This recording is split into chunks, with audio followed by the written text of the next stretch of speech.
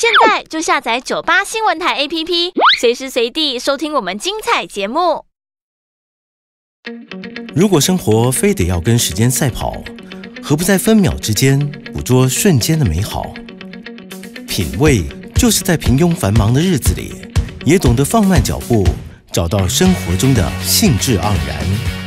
欢迎收听《酒吧行家品味》，让来自不同领域的行家带你细细品尝生活的点滴趣味，与你共享生活品味。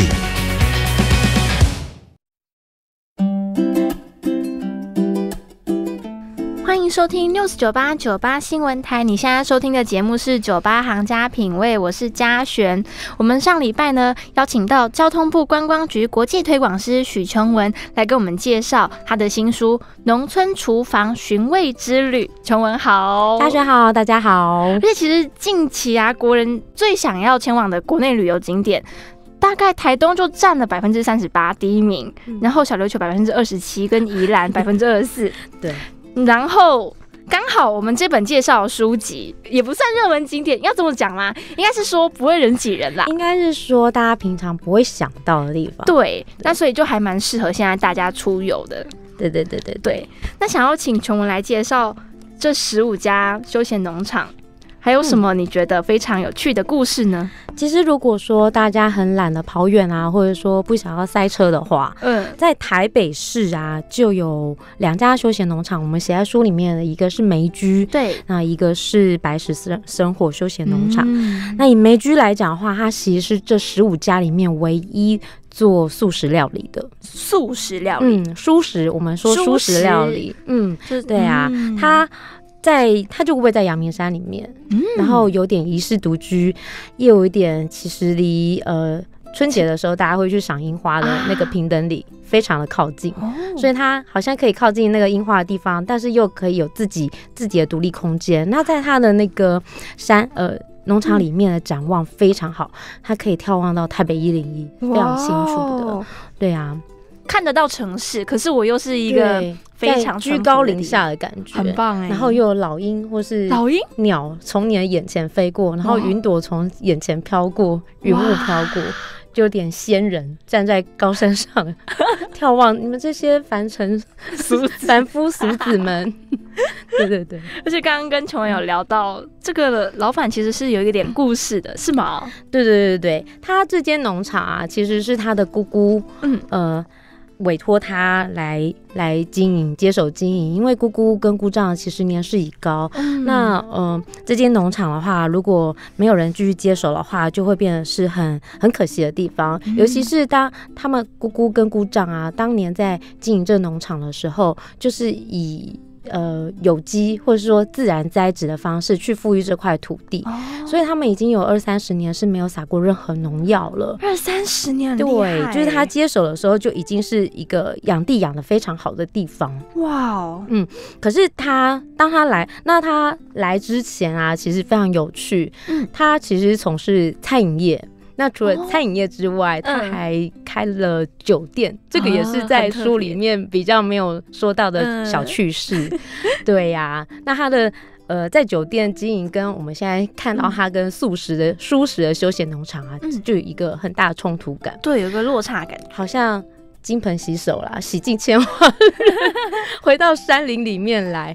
那他说他当初呃回到跟姑姑姑丈啊，来到这个山里阳明山上的时候，嗯，呃，他就想说好吧，我就来看一看吧。嗯，结果他只待着第一个晚上，就想要打退堂鼓，因为因为他觉得这里实在是生活太单调了。可是他觉得如果就这样放弃，实在是很丢脸，因为姑姑跟姑丈都生活这么久了。嗯。所以他就没有放弃自己，给想说好给自己再多一点点时间。嗯，然后他印记一记得印象非常深刻的是，他姑姑跟姑丈带他上山的时候，去临近的地方吃火锅。嗯，大概走路三十分钟，下山三十分钟，走路的哦，是下山的，就爬下去，然后再爬回来。对，然后吃完之后回来再爬回来。他说。光是这样子啊，他就已经气喘吁吁。但是他的姑姑姑丈，一个七十七十几岁的人哦，脸不红气不喘，他就觉得我本身我本身呢就更小，有点丢脸这样不行。那后来他就开始整地呀、他说第一个月真的每天晚上回到床上，躺在床上都跟木头人一样，然后还左脚右脚轮流抽筋，好可就 超好笑的。对，哇完全没有办法。然后，那他为了要去呃去经营这个地方，也去学习怎么去做素食料理。可是他学习方式啊非常特别，他说就是随便煮。随便煮，因为你要吃食物的原型、原味，所以你要去品尝它的味道，你要先去知道它的味道，然后，诶、嗯。赏赏它的味道，赏了它的味道之后，你才学会怎么品味。所以他所有料理都是自己研发呃的，，先跟一个师傅学习做酱料，嗯。之后都是自己去研发。那他就很像那个李时珍一样，就是哎、不是，就像那个对对对，他就是尝百草，对，很像神农氏去尝百草，我那时候看到着书，，嗯，我看到你写说随便煮，我想说啊，随便煮，对，啊，就是他还希望说是，如果是呃，他不要挑专业的厨师是吗？对，因为他觉得专业厨师有匠气，嗯。那他会有一套自己觉得这个东西就是要怎么煮。啊。啊，比如说法式料理就是要怎么煮啦，或是意大利料理就是要怎么煮，他不要这种师傅，嗯。他就是要那种什么都不懂的人，所以他才能把食物玩出可以把食物玩出各种方法，搭配出各种料理。尤其是他那边都是以蔬食、蔬菜，对，然后野草，因为嗯阳明山最多的就是野菜，啊那他的农场里面最多的东西就是野菜，嗯那你就一个一个去吃，吃完之后你再去用这个东西去跟，比如说蛋来搭配，或者是跟苦瓜来搭配，嗯然后去撞击那些。口感里面的滋味，他说，当他觉得好，当你觉得好吃的时候，这东西就成功了。我觉得很厉害，因为找外行人对，不懂得煮饭的吗？他他其实是懂懂料理的，但是他找的厨师是不懂料理的。哇，对，好前卫哦！就是我也觉得他蛮勇敢。对对，那他那消费者也是很厉害，对不过都买单。然后他有也是有常客哦，每个礼拜都去。他说：“你看我会生出这么多料理，就是因为被常客害的。被常客害的，对，因为常客他一定不会想要吃重复的食材啊，哦对啦或者是重复的食物所以。他就要每一所以他就光是苦瓜，他就说、嗯哦光那苦瓜我要变一百种方式，一百种，对我，我就说一百种你怎么煮？他说你来吃一百次，我煮给你吃。好强哦。对，哦！嗯，哇哦，所以他的体验是？他的体验的话，就是你进到那个农场，他就会告诉你，他就会慢慢带你去认识，呃，阳明山里面嗯会有的野菜，嗯。它、真的很有趣，就一路吃进去，一路吃野菜，就是。路边采到什么就拿起来生吃吗？对，他就生吃，他就会教你吃这个食物的滋味。那我记得有一个有一个呃食材叫旱金莲，它哦真的很有趣，它就长得很圆圆的，很像小小的荷叶，非常薄。嗯那那个旱金莲，它吃进去的时候，很像有一股芥末味，对，就很有趣，然后有点呛辣，但是又不会太刺激。可是你把它拿来就是搭配其他的蔬蔬菜来吃的话，它又非常的温和，甚至可以提出呃其他蔬菜的味道。所以它生跟熟的味道会不一样嘛？其实它就是生吃，哦只是你去你在口感里面，你一个是单吃，一个是搭配其他食材、食材来吃，就会觉得哎、诶好有趣哦，怎么吃起来会不一样？哦有变化的味道。对，道，然后所以跟着它的话，就是一路吃吃吃，它就很像从那个草里面拔起来，这个你试试看，这个你闻闻看，这样子。就从土里新鲜的对对对对，全部都是直接现采现吃，真的很酷。对，很有趣。然后就是吃完现采现吃之后，还会就是来料理，对，这样子再进到他的厨房料理。那他有一道菜，我觉得他的典故非常有趣，它是叫做滑蛋橘子。滑蛋橘子，对啊，因为你看哦，他自己种橘子，在在在梅居里面，它其实最早最早期它就是种橘子，是一个橘子园。嗯，那它现在其实不只有橘子啊，还有花啊，还有其他的蔬果等等，嗯但还保留了当初他们种橘子的那些呃一些橘子树。啊那橘子啊，你要怎么去搭配料理，嗯才会有不同的创意？嗯就他就想啊想啊想啊，还有那个想啊想啊，就跟他的蛋坐在一起，这很前卫，对，因为蛋这件事情也是蛋就是蛋啊，对你要怎么激荡出不一样的菜色？嗯就想想想，结果就被橘子砸到。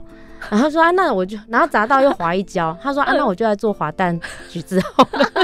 因为我们正常不会想说橘子跟蛋放在一起，对。不会，而且老实说，呃，我自己呀、嗯。很不喜欢吃，呃，有一个料理叫做什么橙汁排骨。啊，我懂，嗯，我可以我那时候听到那道这道菜的时候，我想说会不会是那个感觉？啊？我跟你说完全不一样，非常清新口感。是不是因为橙汁排骨还有加糖，还就是我不晓得，因为橙汁排骨很油腻，然后它又炸，嗯可是它跟橙对我来讲啊，我我不是那么喜欢，我觉得它嗯。它不搭啊，分开吃好吗？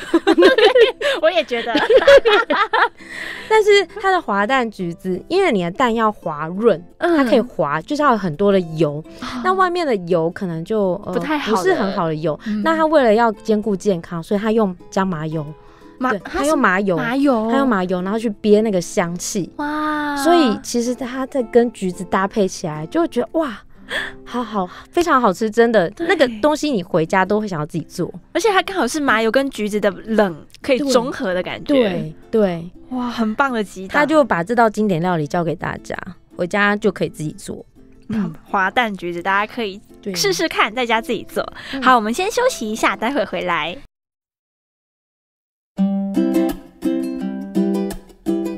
回到 FM 九八点一 News 九八九八新闻台，你现在收听的节目是酒吧行家品味。接下来我们继续来邀请琼文和我们介绍农村厨房寻味之旅。那刚刚我们聊到了。梅居嘛，休闲农场。那接下来想要请琼文和我们介绍音乐米创意产销企业社。嘿，这是一个什么样的音乐农场呢？音乐米听起来很奇怪，对不对，对？音乐跟米，音乐跟米难想象。怎么会做结合？对。其实就是因为这里有两个人的结合，就是哦这对夫妻，一个嗯是掌管音乐，一个是掌掌管种田。嗯老婆，哎、老公呢就是少年阿公，我们都叫他少年阿公。哦，可是他其实是三十来岁的年轻人，那他的老婆不是少年阿妈，是仙女。他他为什么要叫仙女？其实他的名字叫黄宣仪，哦按他的阿嬷都叫她仙女仙女仙女，然后就变仙女仙仙女女 仙女。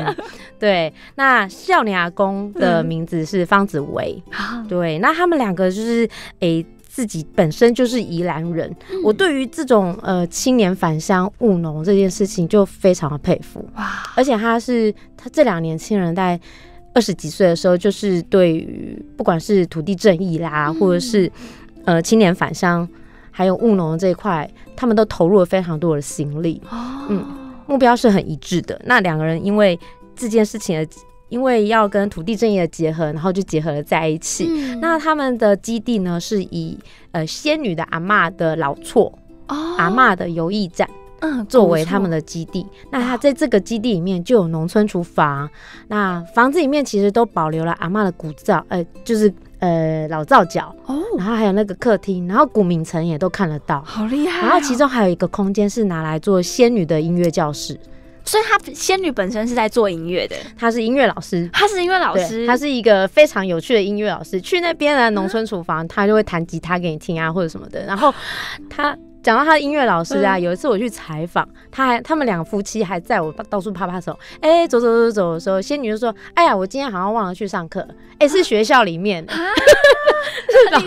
老师比学生还不认真。老师这样可以啦，我就说：“哎，你这样 OK 吗？”他说：“哦，可以啦，我学生很习惯。”哦，是这样子 对对对再帮他们补课上音乐课就好了。哇哦，他就有点随性，然后是一个非常活泼开朗女生，然后只要有他在的地方就充满欢乐。哦，对啊，然后所以音乐迷是这样来，那方子维他就在在有阿嬷驿站附近种了田，那他的田里面种的是紫米，跟其他人种的白米又不一样。对，那他当初就是为了要做区隔，嗯。就是要跟别人不一样。可是他也有遭遇到一些困难，因为如果都是一整片白米的话，在收割的时候，其实只要请机具来，嗯。然后就一整片收割。可是因为它是紫米，嗯，他就没有办法跟人家一起收割，所以他就只能自己哦自己弄，对自己弄，所以他所有东西都亲力亲为，哇，嗯就是也是呃 很不容易的的的一对夫妻。嗯。所以我看到他们返乡，我就觉得啊，他们就是用生命在实践那个 农村的文化还有经济，就由衷的佩服。那紫薇她除了在游艺站阿妈呃游阿妈驿站这里作为她的基地之外，其实她最主要是带菜市场导览。啊，菜市场导览好酷哦，这个笑脸阿公啊，他从他的我们见到他的第一第一面，嗯。他跟这整个行程，他会先跟客人约在火车站见面，嗯，然后你都不会怕认不出来，因为他的行头就非常的鲜明，一个年轻人穿了十足的怂，很怂的 吊纱，对，边纱是对就是竹衫，哦竹白色，以前阿公会穿那种很透风的那种竹纱衫，哦，前面还有个小口袋，头上戴那个庙会一定会看到的帽子，黄色的，黄色、红白、黄红相间的帽子，然后肩上一定会一条黄色的毛巾，啊，下面的那个西装裤啊嗯，就很透风，然后一定要一高一低，啊，脚上一定要踩那个黄色的荷兰鞋，拖鞋，鞋黄色的拖鞋，对啊，这就是最早期阿公会穿的衣服啊。为什么阿公要穿这样？嗯因为他有时候会去务农嘛，啊，务农这就很通风，啊，西装裤其实很柔软，要站要蹲都很方便。哦是这样，对啊，湿掉了其实也很快干，那是最最快的排汗衫。我最早期的穿白色四角裤之类的，没有没有没有没有，甚至脚裤务农可能还会被虫咬啊，哦这样子还可以防晒哎啊，也是有道理对，所以他就穿这样子，自身行头，你在火车站就绝对不会认错人。哦，对，然后就跟着他一起到菜市场里面去走。那跟他到，因为他自己本身是宜兰呃菜市场里面长大的小孩，他们爸爸妈妈都是在菜市场里面工作。然后妈妈超级时髦的好，专门卖时装，然后在菜市场里面哇哦，很正，超正，时装对对对就是卖卖衣服这样子。哦哦哦，然后，那他就是到处打滚，从小就是在菜市场里面打滚，所以呢，菜市场里面每一家摊商在卖什么，那个叔叔、伯伯、阿姨、婶婶，他都叫得出口，几乎就好像他家就是好像他亲戚一样。对啊，那走到菜市场里面，也不是只有哎、去看卖什么鱼啊，卖什么菜，嗯特别是他有很多的外国旅客会来跟着他去走台湾的菜市场。对外国人欸来讲，台湾菜市场很丰富、很多元、很很不一样。嗯很在地，尤其是我们在讲越在地越国际的时候，菜市场它就是体现了我们生活博物馆。嗯。对，那你在这里可以看到我们的生活，可以看到我们的节庆嗯。哦，不同的节庆你就可以看到不同的食材在菜市场里面贩售。元宵节的时候看到汤圆，然后七夕的时候你就会看到麻油鸡。这样子。那除了这之外，啊，他还会带外国人去逛呃菜市场里面会有的呃中药行、中药铺子，或者是金银纸店。金银纸就是店卖哦金金钻，银纸嘿哦，金钻的店。对啊，那那哦卖金钻的店啊，它有时候还会呃祭拜祖先的时候会有一些祭品。啊，那现在祭品不是是很高档吗？是什么有纸做纸扎的那个 iPhone 啦、对，然后还有，各国万国钱币，哦然后外国人看到就哦这厉害，然后还有那个 SK two，还有烧烧 SK two，有有超级多，还有 iPad，我只知道 iPhone、iPad，超级多，什么都有，真的什么都有。好酷 B N W 要烧什么都有，所以外外国人光走到那金银纸店的时候就走不出来，还会一直拍照。他要买回去做纪念，这个我就哎、我相信有人会买哦真的，我相信有人会买。然后他妈妈的店里面现在还有卖少年阿公行头的衣服，还真的有外国人买一套穿，哦真的真的很有趣。对啊，所以他就带他们去菜市场观光一圈，，对去带他们去绕一圈。哇，嗯很棒哎。那逛完菜市场之后呢？逛完菜市场啊，就跟着少年阿公回到他们礁溪有阿妈驿站。那到有阿妈驿站，他会先带你去看到稻田啊，或者是去呃做一些农事体验。他也有一些蔬菜啊，你可以帮忙从事一些农活。那有的时候呢，会呃晒萝卜干。嗯其实在，呃紫薇他们这边啊，少年阿公这边就很生活化，啊，所以就呃依着那个时令下来，就有什么农活你就跟着我一起做。哦，就是会跟对着，会交替着做，对，不是只有单一个，对它，它不会只有单一，但是蔬菜田是永远都在那，你可以帮忙整地啦，或者是采一些蔬菜等等。那你也可以帮忙腌萝卜，或是腌呃酱菜之类的。很棒对哎。，那他在他的那个活动设计里面呢，有一个咸菜节，咸菜节，对，就是仙女和腰带。它是咸菜节，这个名字很很可爱。仙女和腰带，对，它就是把把一条呃里脊肉，嗯然后再绑上蝴蝶呃胡萝卜，嗯那胡萝卜呢之后再以再搭配他们自己腌的酸菜，嗯，中间再用那个竹腐竹去绑一个带，呃嗯绑一个蝴蝶结，那这样的东西再丢到呃汤里面搭配蛤蜊、嗯姜丝。就是他们早期农村里面最早期或者节庆里面会吃的一道汤品。哇，嗯，书里有图片，可以很明显看出来，非常的特有特色的料理。非常的鲜，而且它就是这个腌腌咸菜的话，也是可以跟着那个少年阿公一起做，因为咸菜其实也是我们古早古早那个呃先人的智慧去腌出来的酱菜。嗯，而且他们还有一个农村音乐会耶。对啊，就是仙女，但是仙女你做完了料理之后，仙女就会出来带动唱，哇，把那个活动带到最高潮，然后 ending 大家一起拍照。一个完美的结束。对，而且在她的歌声里面，还有嗯歌词里面，都可以听到当呃当地礁溪的文化啊，然后嗯还有农村的生活，然后阿嬷对他的情感等等。有的人甚至会听到她的音乐，就听着听着就哭了，太感动了。好感性哦！对，哇塞，嗯，真的很棒哎。这东西啊，就是你一定要去现场现场体验了之后，才会感受得到在农村里面的那种嗯农家乐。嗯，对真的，而且很适合带着亲朋好友或者是一家人对，一起去。来看看我们年轻人为什么要返乡来务农。农其实已经不是我们早期想象那么辛苦，嗯他们把农做的变得很时尚，变得很欢乐，变得很生活，然后告诉你，其实台湾就是跟农是分不开来的。嗯，真的，今天很开心能邀请到交通部观光局国际推广师陈文到节目中来和我们分享台湾特色的休闲农场深度之旅以及背后的故事。那因为时间的关系，没有办法介绍的太详尽。那剩下的部分呢，听众朋友可以参考这一本《农村厨房寻味之旅》，是由苹果屋出版的。那节目就先进行到这边喽，谢谢陈文，谢。谢。